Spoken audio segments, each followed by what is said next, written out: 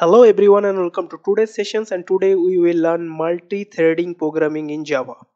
So if you check this picture, so here you can see this guy is basically working on his computer and doing some code and parallelly listening some music, right? So doing or performing multiple tasks at the same time in parallel is nothing but multitasking. And in system terminology, it is actually called multi-threading and today we will learn multi-threading concept in java. Now if you already you know see this class diagram so that type of class diagram we already did number of program we did right? And if you check here basically this class has a beginning here okay? Then it has a body and finally it has a end right? So this type of class where it has a beginning a body and end and the code basically you know uh, execute in sequential order. So these type of things we already learned like our main method class right? And this type of class is nothing called a single thread program okay? So whatever the main method class we created all are basically something like a single threaded program. But today our aim is to learn multi-threaded program in java right? Now if you check this diagram here this is our main thread and from this thread we are actually initiating thread a thread b and thread c. So once initiated by this main thread then this thread a thread b and thread c run concurrently and share the resource jointly okay? So this diagram actually you can see here we have four thread main thread then thread a thread b thread c. So this is a multi-threading concept here. So let's understand how we can create a thread in java okay? So there are two concepts to create a thread in java. First we can extend the thread class. Thread is a inbuilt class so we can create a class and then extend that thread class. So this is one concept.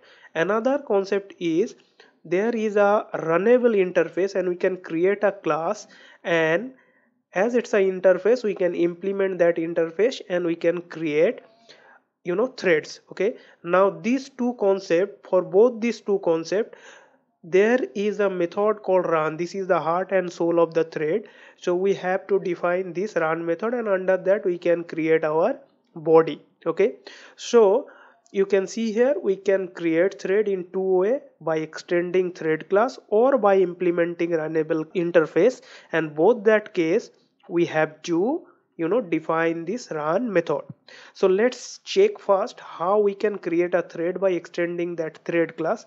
Then we will try to create another thread by implementing the runnable interface. And both the things we will try to understand by creating some program in eclipse. So let's jump into eclipse. Now in my eclipse you can see that i have created a thread demo class under com.demo.thread package. So this is my package. And under that i have created a thread demo class and it is uh, basically a main method of this class. So this is nothing but a simple class with main method. Okay?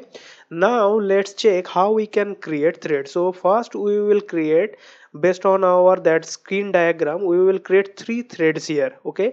And all these threads should be created by extending thread class. So let's check that one. So let me double click it here. So let's create a class. You can see that this is my test demo here it start and here it's end. After that i am creating a class thread class and how we can create that one definitely we have to extend. So we will actually using the fast approach. So we will extend which class? That is basically thread class. Now this is our thread a okay? So similar way you can create thread b and c so first create two other thread. Let's say this is thread b instead of a it's b. And similar way you can create another thread let's say c okay? So this is my three thread class. Thread a thread b and thread c all are basically extend the thread class okay? Now what i said that the heart and soul of any thread is run method. So we have to now define this run method for each of these threads. So first we have to create the run method. So let's create the run method and then the syntax is public void run. So we have to create this run method for all these threads. So this is our first thread. Let's say this is our second thread. And similar way for the third thread you can also create the run method. Let use control shift o and f okay? And then it will be indented and you can see the exact formatting okay? So what i did i actually create three thread class abc by extending the thread class and i have used the run method here okay? Now let's do some logic okay? So what logic let's create a iteration and under that iterations we will simply print some message okay? So let's say for thread a this run method let's create a for loop. I is equal to 0 i less than 5 i plus plus. And here a simple you know print statement where it says i am in thread a okay? And my iterations is whatever the iterations i will get for each time okay?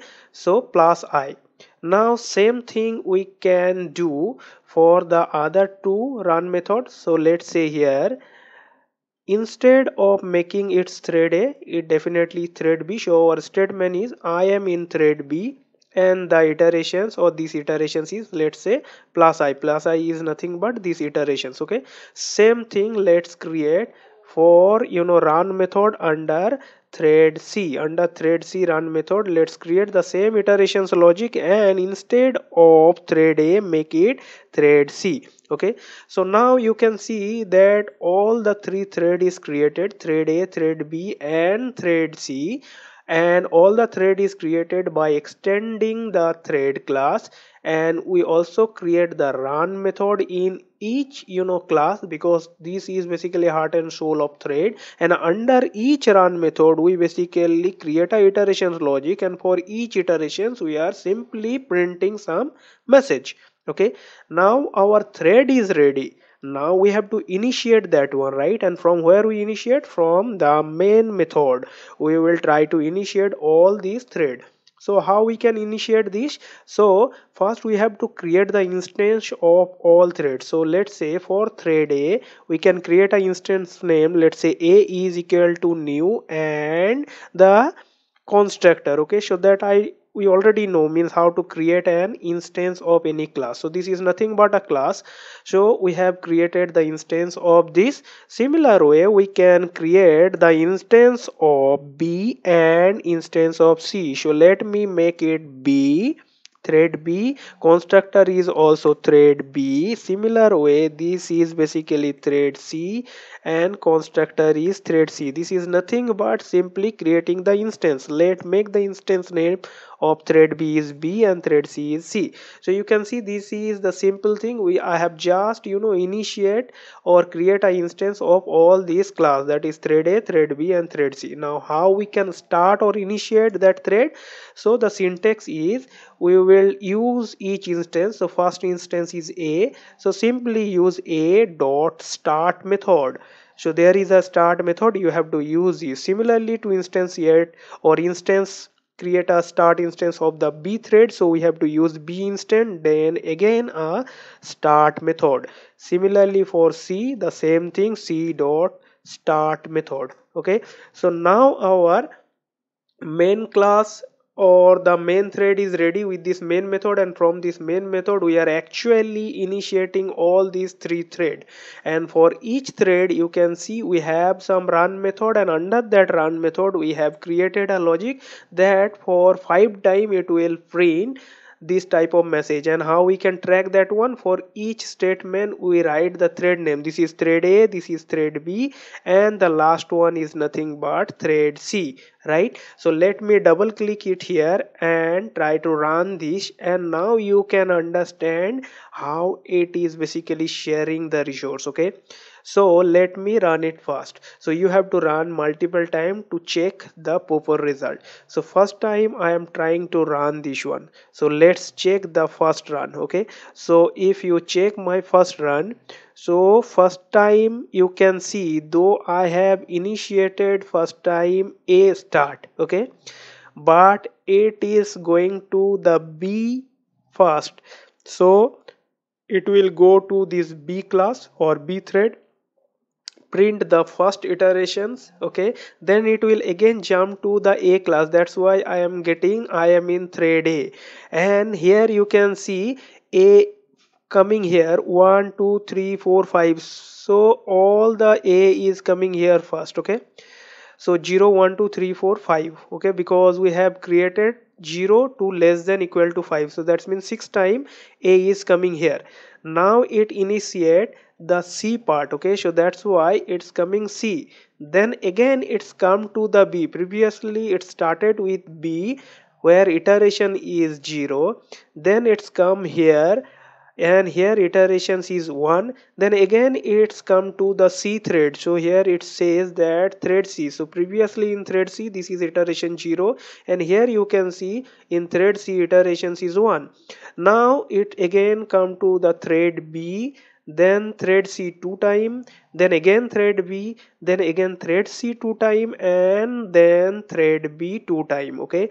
Now if i run it again so its sequence again got changed. So let me run it again. Now if you see here the second run so here you can see previously it was started from b right? Now it started from a then started from b then again two time a then c then again 2 not 2 3 time a then it's come like 1 2 3 4 5 time b then finally it's go to the c thread and execute all the rest of the iterations of the c. So every time when you run this program it will you know give you different result because the resource is basically sharing okay? And they are using jointly that share okay? So sometime the thread a will be you know execute fast sometime uh, you know b will be execute fast. So it's totally depends. You cannot you know handle that one. So each time you run you will get different different result. That's mean when from the main thread we are actually you know initiate all these three threads. So from this main method we are actually initiating all these three thread thread a thread b and thread c and they run concurrently and share the resource jointly. So you can see the concept and this concept is nothing but multi-threading. There is no a single flow of a single class. Here we have you know three class thread a thread b thread c and to create this thread we are using the first approach that is nothing but extending the thread class and defining their run method. So this concept is nothing but multi-threading in java. So hope you understand the first concept how we can create by extending a thread class. Okay? Now in our next sessions we will try to understand how we can create a thread using the second approach that is nothing but implementing the runnable interface I believe this video has helped you to understand about the topic. Thank you for watching. Please do subscribe, click on the bell notifications and select all so that you don't miss any video from this channel.